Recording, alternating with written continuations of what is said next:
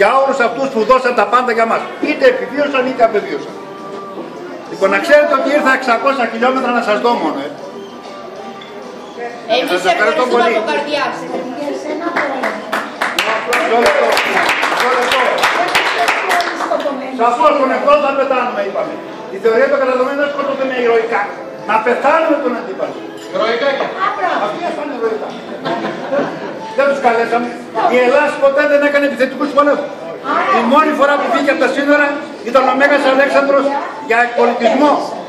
Και η έξυπνη κίνηση που έκανε τότε η οποία σε όλη την Ευρώπη ήταν να πάει να χτυπήσει τους Πέρσες και τους Μύδους μέσα στο σπίτι τους. Γιατί κάθε φορά τους αφήνανε, ερχόταν μας κάνουν τις και φεύγουν. Είναι αυτό που λέμε πάντα από αρχαιοτά των χρόνων, η καλύτερη άμυνα είναι η επίθεση. Αυτό εφήρμοσε. Ποτέ άλλο δεν βγήκαμε να πάμε κάπου. Το 64 έσωσε την Πάφο. Γιατί τότε, από τότε ήταν το σχέδιο, η πράσινη γραμμή, να φτάσει στην Πάφο, γιατί απ' έξω από την Πάφο είναι το πετρέλαιο που έχουν σήμερα οι Ισραηλινοί. το 12 υπόπεδο. Και το 74 ο Χανδρινός. Το ίδιο σχέδιο.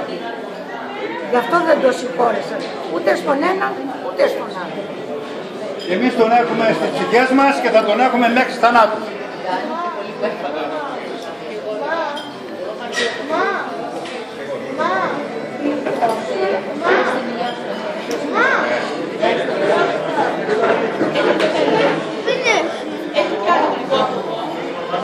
Έχει και εδώ. Δηλαδή που τρώω. Δικιά σου παράλαβε αργή. Σε πειράζουν τα σαΐν και τα πώς τα λένε, δεν ξέρω κιόλα. Σαρακατσάνε χωρική αδερφέ μου. Θα τα βάζανε και τα Και μας έφερε σε καμπά βερσάλου παρακαλώ.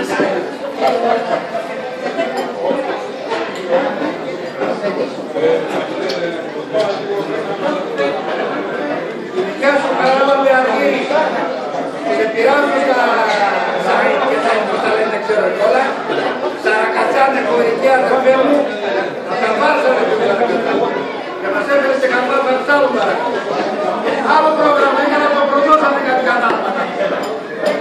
Ας τα ακούσουνε αυτά. Να ξέρουνε. Και εδώ είναι η Ελλάδα και δεν κολλώνουν. Και με την να το έχουμε, και θα τραγουδήσουν. Ας μην έχουμε τον άλλο Ας μην έχουμε κλαρινά.